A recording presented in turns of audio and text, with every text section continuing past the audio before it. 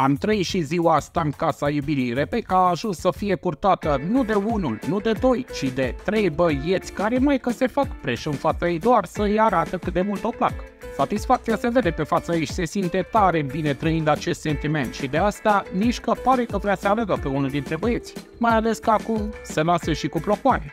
Gage se bagă mai mult în seamă, el neavând nici cea mai mică șansă la inima Rebecchei, iar asta pare că i-a dat și el de înțeles, însă acesta nu renunță și continuă pe un drum care duce spre nimic. Bogdan însă pare că nu vrea să se lase în fața lui Antoni și deși a spus că nu îl vede ca pe o amenințare, el simte cu totul dar cu totul altceva. Așa că în locul glumelor, acesta a ales să apeleze la ceva mult mai serios. Bogdan s-a înființat la un magazin și a luat Rebecca un lănțișor care pare că i-a cam schimbat opinia fetei asupra băiatului.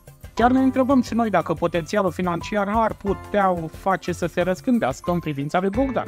Pe cealaltă parte, Antoni pare să stea în așteptare și se bazează doar pe aspectul lui fizic. Acesta ne dori să investească material în Rebecca, ceea ce e, e mult mai potrivit. Dar este totuși un joc care ar putea să aibă de pierdut. Rebecca a apărut tare încântată de bijuteria dăruită de Bogdan și în aceste condiții s-ar putea să fie prima, dar nu ultima Bogdan, fiind genul care cotizează. Pe măsură ce zilele trec, toată lumea se întreabă ce decizie va lua Rebecca și, dacă va da curs unui pretendent, să va continua să se bucure de atenția tuturor. Întreaga casă este cu ochii pe ea, iar fiecare gest și cuvânt al său este atent analizat de băieți care speră să descopere un indiciu care să le dea un avantaj în lupta pentru inima ei. Rebecca, pe de altă parte, pare să se bucure de situația în care se află, savură în fiecare moment de atenție și interes din partea băieților. Potrivit mai multor informații, Rebecca va intra într-o cunoaștere cu Bogdan, însă nu chiar acum. Nu știm dacă decizia va fi luată în urma darului făcut de băiat.